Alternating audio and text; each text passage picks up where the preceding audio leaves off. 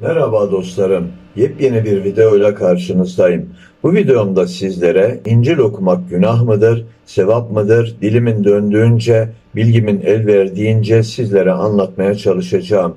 Öncelikle şunu belirteyim. Bilmekten insana zarar gelmez. Bir fikrin veya bir inanışın doğru veya yanlış olduğu hakkında bir görüş bildirebilmek için onun hakkında bir fikriniz olması gerekir. Tabii ki en önce kendi kitabınızı Kur'an-ı Kerim'i okumak zorundasınız. Kur'an-ı Kerim'i en az 15 defa okumuşumdur. Tabii ki bunu övünmek için söylemiyorum. Bir şeyi ortaya koymak için söylüyorum. Kur'an-ı Kerim öyle bir deniz, öyle bir derya ki 15 değil 115 kere okusanız her gün bir şey öğrenirsiniz mutlaka. Kur'an-ı Kerim geçmişe, günümüze ve geleceğe hitap eden muhteşem ilahi bir kitaptır. Yani her okuduğunuzda mutlaka bir şeyler öğrenirsiniz. Yani okumaktan ve bilmekten kesinlikle zarar gelmez. İslam dünyasının başına ne geldiyse cehaletten gelmiştir. En karşıtı olan fikirdeki bir insanın kitabını da okuyabilirsiniz. Ondan da bir şeyler öğrenirsiniz. Onun hakkında bir fikriniz olur. Ona karşılık verebilirsiniz. Ama hakkında hiçbir bilginiz olmayan insanla neyi tartışıp neyi söyleyebilirsiniz ki? Benim İncil'i okumama sebep olan daha önce kendisi Katolik olan bir kardeşimiz, sonradan Müslüman olan İncil hakkındaki fikirlerini anlatmıştı bir videoda.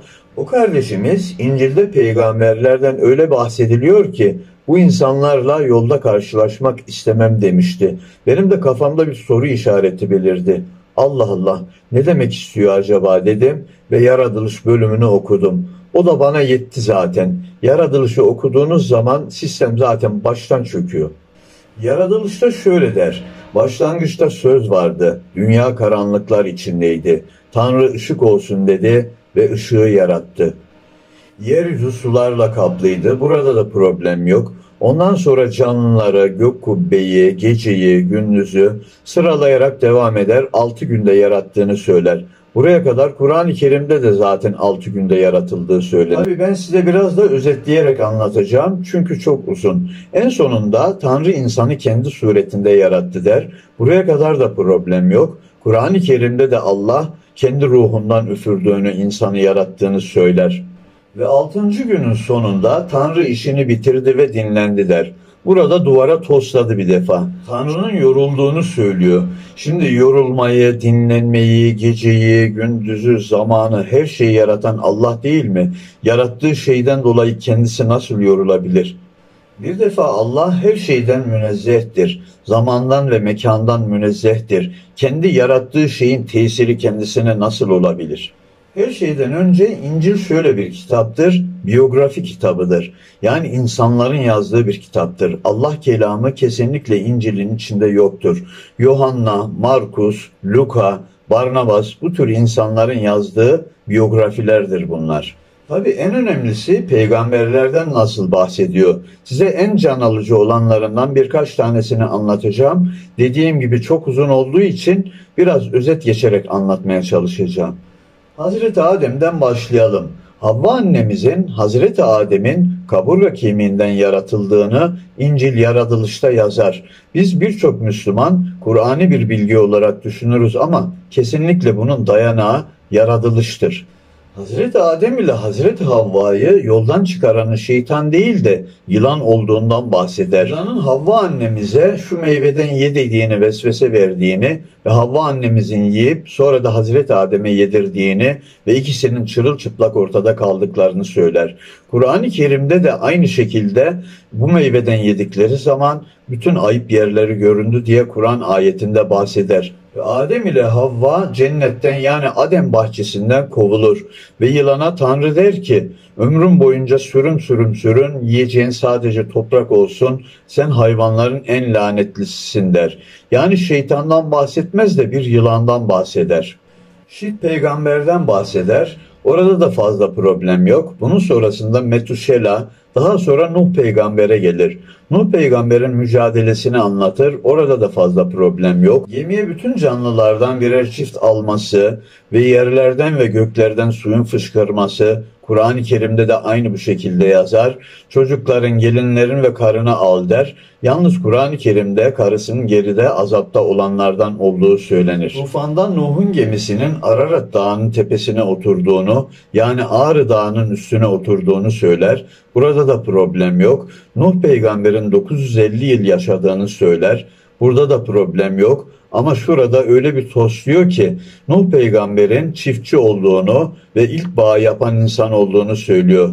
Bir gün kendisi şarap içiyor ve çadırın içine çırılçıplak uzanıyor sarhoş halde. Oğullarından birisi gelip onu görüyor.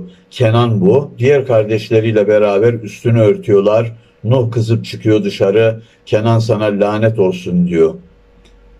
Tabii çok uzun anlatım olduğu için başta da söylediğim gibi biraz özetleyerek anlatıyorum. Nuh peygamberi böyle güzel anlatıyor. Hazreti İbrahim'i de anlatırken ufak tefek saçmalıkların dışında hemen hemen Kur'an-ı Kerim'le örtüşen olaylar vardır. Lut peygamberle aynı zamanda yaşadığından bahseder. Kur'an-ı Kerim'de de aynı zamanda yaşadıkları söylenir. Hatta Hazreti İbrahim'e ilk iman eden mümin Lut peygamberdir diye Kur'an ayetlerinde okuyabilirsiniz. Ama Lut peygamberden bahsederken öyle bir saçmalıyor ki kulaklarınıza inanamazsınız. Lut peygamberi anlatırken evine iki meleğin geldiğini, etrafına o sapık halkın çevirdiğini, çünkü onlar homoseksüeldi, illa o melekleri bize ver diye söylediğini, Kur'an-ı Kerim'de de aynı şekilde geçer. Buraya kadar doğru. Lut peygamberin kızlarımı size vereyim evlenin dediği bu da Kur'an-ı Kerim'de geçer. Buraya kadar doğru. Sonrasında Lut peygamberin iki kızıyla beraber mağaraya yerleştiğini ve oranın yok edildiğini, karısının yok edildiğini buraya kadar da doğru ama burada sapıtmaya başlıyor. Lut peygamberin insan neslinin devam etmesi için kızları birisi bir gece şarap içirtip babasıyla birlikte olduğunu, diğer gecede öbür kızının babasıyla birlikte olduğunu ve insan neslini devam ettirmek için bunu yaptığını söyler. Bu kadar sapıkça anlatır Lut peygamberi. Halbuki Allah orada Lut kavmini helak etti. İnsan neslinin tamamını helak etmedi ki. Kavimlerin helakini size şöyle söyleyebilirim. Türkiye diyelim komple sapık. Türkiye'yi sadece Allah helak ediyor. Kavimlerin helaki böyledir. Yoksa dünyadaki bütün insan neslini yok etmiyor. Yani burada da ayrıyeten saçmalıyor. Kavimlerin helaki sadece o kavimlerin helakidir. Dünyadaki insan neslinin yok edilişi değildir. Kur'an-ı Kerim'de kavimlerin helaki böyle anlatılır. İbrahim peygamberde çok aşırı sapıtmamakla beraber bir sürü saçmalıklar vardır tabii ki. Bir de Davut peygambere gelelim. Davut peygamberi de çok uzun anlatır ama ben en sapık olan olayı anlatmaya çalışacağım sizlere. Davut peygamberin Calut ile savaşırken kendi kumandanı olan Üriyah'ın karısından hoşlandığını söyler. Üriyah'ı savaşın ortasında bırakıp onun karısına konduğundan bahseder. Bu kadar sapıkça anlatır Davut peygamberi. Bir de Yakup peygamberin peygamberliği hileyle aldığından bahseder. Yakup peygamberin bir kardeşi varmış, elleri kıllıymış, babası da körmüş. Yakup peygamber peygamberliği almak için ellerini kıllarla süslemiş ve babasına göstermiş. Peygamberliği böyle aldı. Yani hem peygamber olduklarından bahsediyor ve bu insanların bu kadar sapıkça şeyler yaptığından bahsediyor. Bu kadar aptalca saçma sapan bir şey olamaz. Peygamberi sen övüyor musun yoksa gömüyor musun? Yani bazı aptalların İncil'i okumayın, zinhar günahtır, mekruhtur dediğine bakmayacaksınız. Şimdi bunları bilmenin bana bir zararı oldu mu? Benim imanımı daha da artırdı. Kur'an-ı Kerim'e daha çok sarılmamı sağladı. Yani şimdi ben Kur'an-ı Kerim'i bırakıp bu kadar saçmalayan, bu kadar sapıkça şeyler anlatan bir kitaba iman edecek değilim ya. Bir hocamız şöyle demişti. Başından geçen bir olaydan esinlenerek şöyle demişti. Eğer sizin ayaklarınız sağlam basıyorsa kimse sizi yerinizden oynatamaz. Eğer bu kadar saçmalayan bir kitaba inanacaksanız zaten siz bu dinde değilsiniz demişti. Doğru bu kadar açıkça saçmalayan ve sapıkça şeyler anlatan bir kitaba inanacaksanız zaten siz Müslüman değilsiniz demektir. Şimdi ben yaratılış bölümünü okumaktan zarar mı ettim, kar mı ettim? Bence kar ettim. O kitap ve o inanış hakkında benim bir fikrim oldu. Olabilir, hayat bu. Bir Hristiyanla karşılaştınız ve tartışmaya girdiniz. O adamın kitabı hakkında hiçbir fikrin yok. Sen ne söyleyip ne tartışabilirsin ki onunla?